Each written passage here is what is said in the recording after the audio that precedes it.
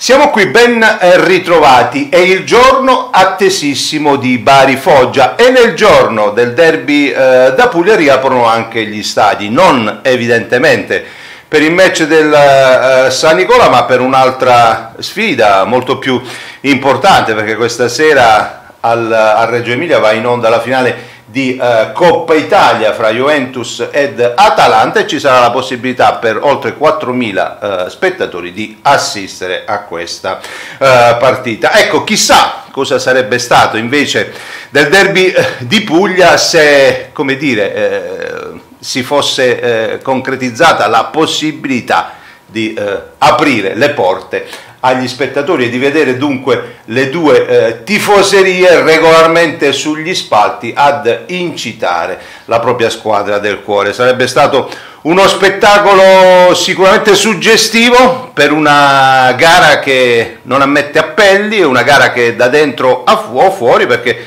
sapete, insomma, soltanto una delle due formazioni poi eh, attorno alle 20 questa sera potrà proseguire la sua corsa eventualmente verso la eh, promozione in eh, Serie B. Come ci arrivano le due squadre a questo appuntamento che vale una stagione soprattutto per la formazione biancorossa? Beh, il Foggia sicuramente con la forza dei nervi distesi non ha nulla da perdere, in questo match ha già dato il meglio di sé in uh, questa uh, stagione, peccato che questi 90 minuti non li possa uh, giocare con tutti gli effettivi a disposizione perché saprete della defezione causa Covid di Del Prete e Rocca che priva il Foggia insomma di due suoi eh, titolarissimi però è un Foggia casato a mille è un Foggia che sicuramente questa partita se la giocherà fino in fondo e soprattutto cercherà di riscattare il match dello scorso febbraio insomma quando perse in superiorità eh, numerica una partita che in un'altra condizione insomma, avrebbe potuto portare tranquillamente eh,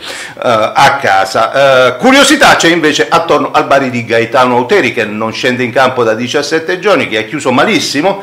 la sua stagione eh, regolare e che è chiamata ad una prova eh, d'orgoglio proprio nel derby contro i eh, cugini rossoneri. È una gara comunque che non ha un favorito d'obbligo, è una gara davvero aperta ad ogni risultato, anche se una riflessione, insomma, eh, me la eh, consentirete. Beh, vedete, il Foggia purtroppo nelle sue file non ha giocatori abituati a giocarsi sfide secche come quelle dei eh, playoff e soprattutto non ha nella sua rosa elementi abituati a vincere, questo può essere un limite. Andate a scorrere invece i nomi che compongono la rosa del Bari vi renderete conto che ci sono tutti fior di giocatori che hanno già vinto il Profo, che comunque i campionati eh, li hanno vinti, a cominciare dall'allenatore eh, Gaetano eh, Auteri che è una eh, garanzia per questa categoria. Ma poi, ma poi c'è l'imponderabilità del calcio, così come la chiamava eh, Caramanno. E allora può davvero, davvero, succedere tutto ed il contrario eh, di eh, tutto. Chissà con quale stato d'animo il presidente Maria Assunta Pintus